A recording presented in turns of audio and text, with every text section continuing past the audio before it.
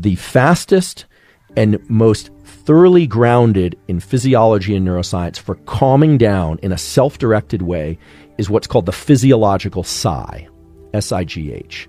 The physiological sigh is something that humans and animals do anytime they are about to fall asleep.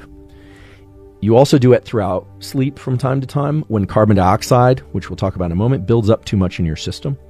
And the physiological sigh is something that people naturally start doing when they've been crying and they're trying to recover some air or calm down, when they've been sobbing very hard, or when they are in claustrophobic environments. Physiological sigh is something that we do spontaneously, but when you're feeling stressed, you can do a double inhale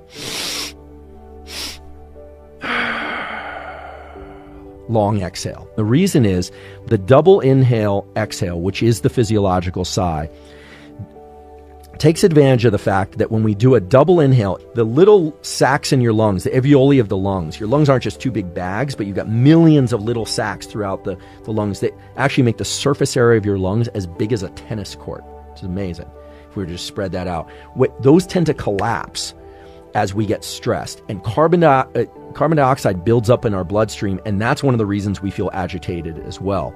So, double inhale reinflates those little sacs of the lungs. And then when you do the long exhale, that long exhale is now much more effective at ridding your body and bloodstream of carbon dioxide, which relaxes you very quickly.